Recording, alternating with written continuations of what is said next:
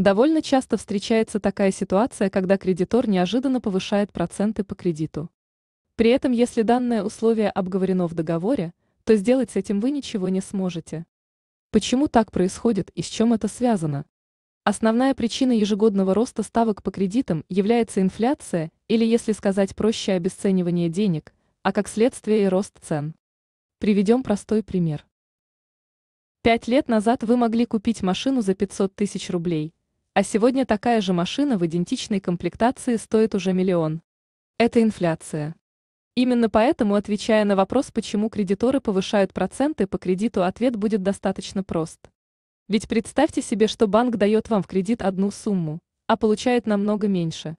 С этим же связаны и очень высокие ставки по кредитам в России. Если вы сравните кредитные программы в других странах, то увидите, что в среднем процентная ставка по потребительскому кредиту составляет в среднем 3-5%, когда как у нас от 15 до 25%.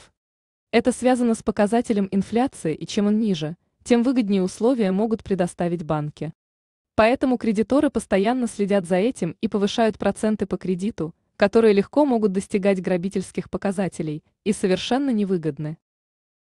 Ставьте лайки, подписывайтесь на канал. Всем пока!